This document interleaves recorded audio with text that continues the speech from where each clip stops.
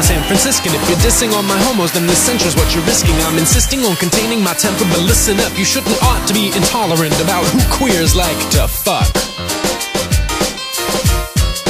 Queers like to fuck. Fags are great, they got hundreds of uses. You can see them on TV explaining what puce is, abstruse is the world, but very simple is the homo. He or she is anyone who's keen to do another one more so than the opposite follow.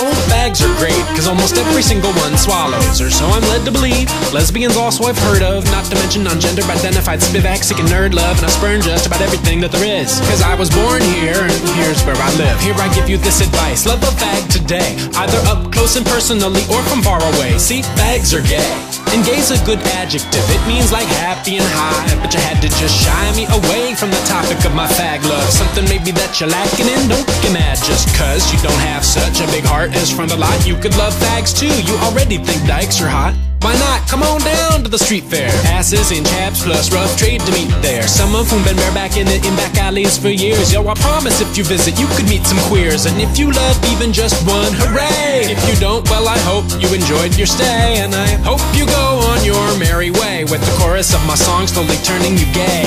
I love fags, cause I am a San Franciscan. If you're dissing on my homos, then this censure's what you're risking. I'm insisting on containing my temper, but listen up. You shouldn't ought to be queers like to fuck. Queers like to fuck.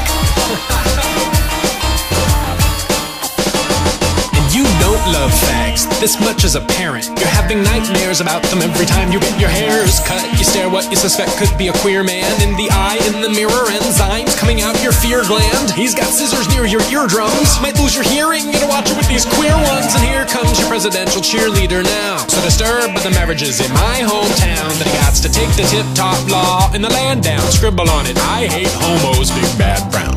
Put it back up, be like, what? It's better. Y'all were with me a second ago when I said that marriage was threatened, and it was. Under siege by these villains. Can you believe they wanted to gang up and have children? There'd be an army of them, teaming and thronging, tempting every American to give in to forbidden longing. And I thought that they couldn't reproduce, that was their weakness. Now what are we gonna do?